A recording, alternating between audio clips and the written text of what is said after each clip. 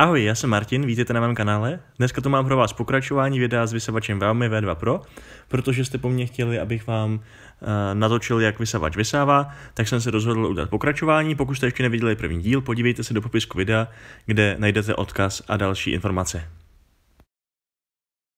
Pokud jste první díl viděli, můžeme začít.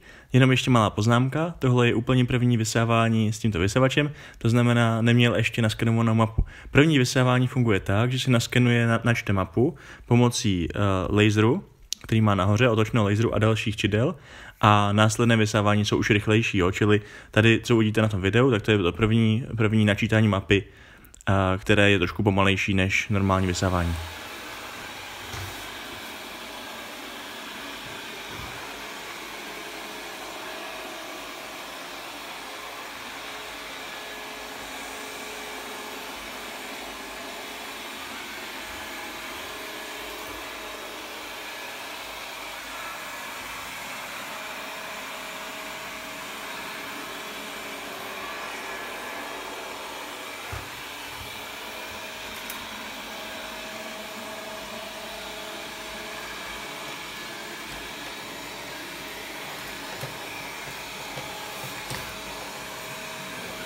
Tady si ještě můžete všimnout, hlavně pod skříní je to dobře vidět, jak nahoře je otočný laser, který skanuje místnost a na videu eh, kamera to zaznamenala, jo? Že, že na kameře je vidět ten laser, nicméně normálně lidského oko ho nevidí. Jo? To znamená, já jsem ho neviděl a vidím ho až tady na záznamu z kamery. Tady se můžete podívat, že vysavač bez problémů přijel překážku, to znamená vyjel na tu vyšší dlaždici. Já jsem ale myslel, že ji nepřejede, Eh, nechtěl jsem, aby tam jezdil, čili rozhodl jsem se nastavit uh, virtuální zeď v aplikaci. To znamená, kliknete si tady na nastavení mapy a přidáte virtuální zeď, můžete ji takhle otočit a nastavit velikost a tak dále. To znamená, uh, tam, kde ji nastavíte, tak tam vysavač nebude, nebude jezdit.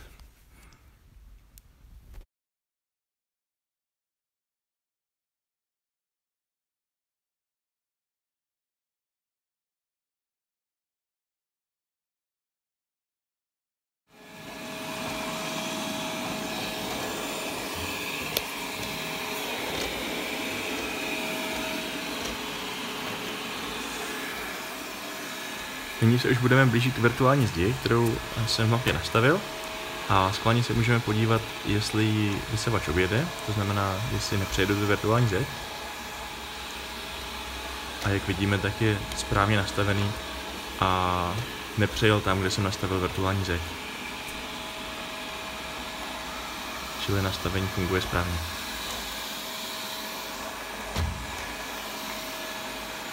Teď vás chvíli nechám, abyste se mohli koukat já chápu, že v dnešní době diváci vyžadují střih každé 2 až 5 sekund, aby je to bavilo. Nicméně to mi právě vadilo o konkurenčních videí uh, v angličtině, že nikde nenechali vysavač delší dobu vysávat, aby, aby divák uh, mohl vidět, jak to, jak to zhruba to vysávání funguje.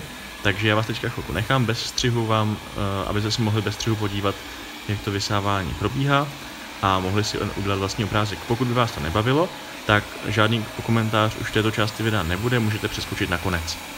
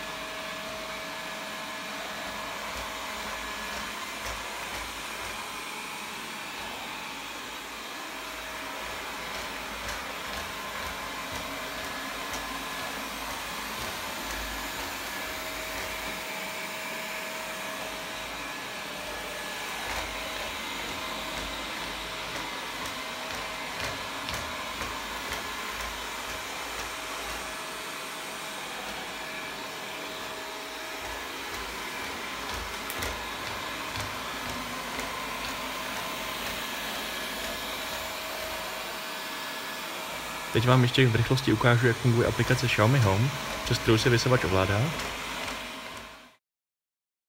Tady vidíme v aplikaci mapu, kterou vysavač naskenoval a vidíme, že pomocí virtuální zdi rozdělil automaticky pokoje na pokoj 1 a pokoj 2.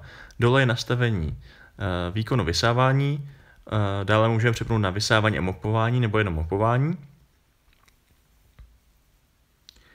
Eh, v nastavení mapy si můžeme zvolit různé funkce. Jak už jsem ukazoval tu virtuální zeď, tak se dá zvolit například jak vidíme tady, buď to zeď, nebo, nebo nějaké přímo místo, které bude vysávat, eh, jako, jako ten obdélník, nebo místo, které nebude vysávat, kterému se vyhne.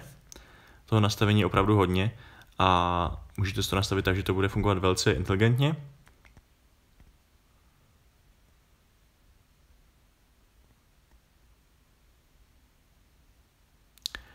Tady je ještě funkce, kde můžeme kliknout přímo na mapu Eh, kde chceme vysávat, tak kde chceme vysávat, tak můžeme kliknout.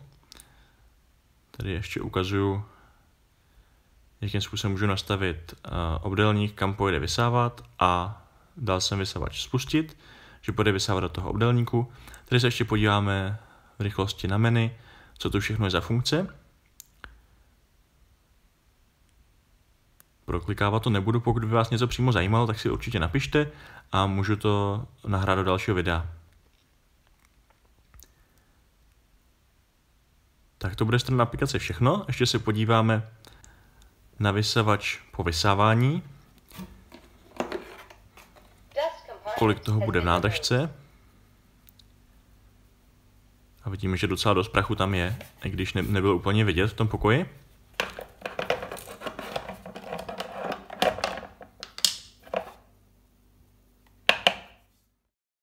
To je pro dnešek všechno, díky, že jste se dívali. Odkaz na tento vysavač a odkaz na video s Roborokem S5 Max najdete v popisku videa.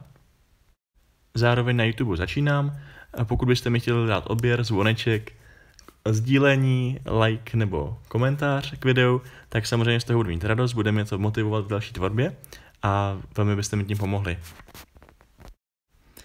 Budu se těšit příště. Díky a ahoj.